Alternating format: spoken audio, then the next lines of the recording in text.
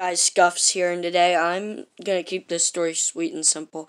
I bought a kid now late when I was doing kind of a babysitting thing, and, um, I dropped the bottle on the pavement showing him the glass L8 bottles are practically indestructible, and I'm like, yo, it'd be cool if you broke it, and then I immediately retracted that saying, don't actually, though, and he smashes the bottle on the ground. Like I'm talking, he done WWE smacked down this bottle. Our neighbor Karen comes out and is like, "What are you doing?" And is like, "Oh my God, Kay, are you okay?" Kay is not his name. I'm just saying. And Karen's just like, "Oh my God, oh my God, are you okay? Are you okay? Are you okay?" And I'm kind of standing there like, "Oh sh." I'm a little bit responsible for this kid. Keep in mind, an 11 year.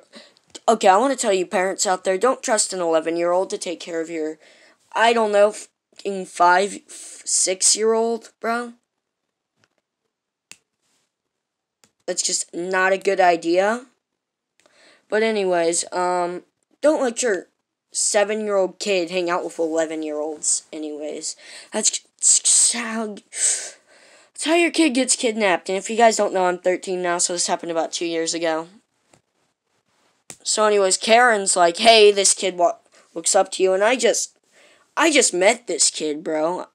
And this lady doesn't even know my name. And I'm like, and then she's like, I'll tell your parents if you keep kids, if you make kids do this more. And I'm like, dude, I told him to.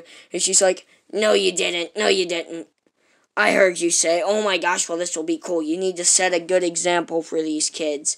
Also, I have another Karen story coming up soon about my elementary school. And that video is going to be titled the time I got kicked out of my elementary school when I was in middle school. Yeah, that's right, this Karen is kind of ultra Karen.